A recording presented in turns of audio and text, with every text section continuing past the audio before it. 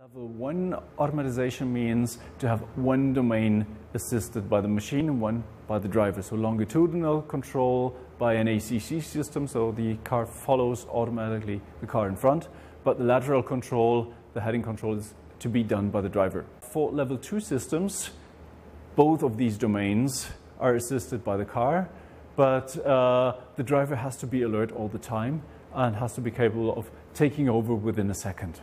Level 3, first time means that the driver is allowed to hand over responsibility to the car.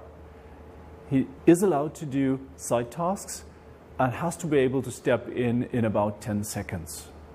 So he isn't allowed to sleep, but he has many, many time to do something else than driving. Four at the end means uh, the driver is not needed in certain situations. So maybe for the highway pilot on the highway mode, the driver can sit back, relax, and even sleep. And before the car gets off the highway, uh, it will wake up the driver, and the driver can take over and go off the highway.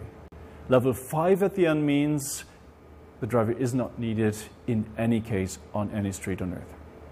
The major challenges and milestones at the same time were um, that we take over the whole responsibility for the driving task in these situations.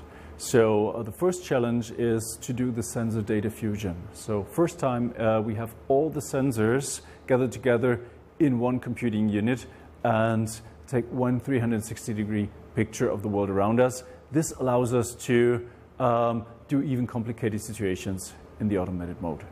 The second challenge is to have redundancy, redundancy in the braking system, redundancy in the steering system. So if even there was a failure in the system, we always bring the car to a safe standstill in the traffic jam.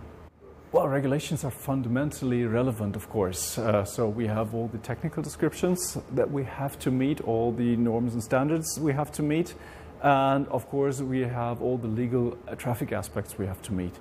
And uh, it doesn't make sense to put a system on the market uh, that the driver uh, wouldn't be allowed to use. So in many states, there's still one hand on the wheel rule. So you have to have one hand on the steering wheel to make sure that you're driving yourself. And a level four system wouldn't make sense in these countries. So that's why these rules are fundamentally important for us. And uh, we're trying to present our systems to, yeah, may all um, the stakeholders allow these systems and see the comfort.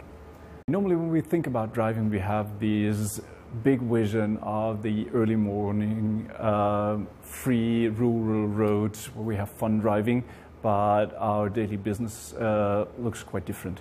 So when we go on a usual highway, uh, there's traffic all around us and it's not that much fun driving and I think people will enjoy being driven.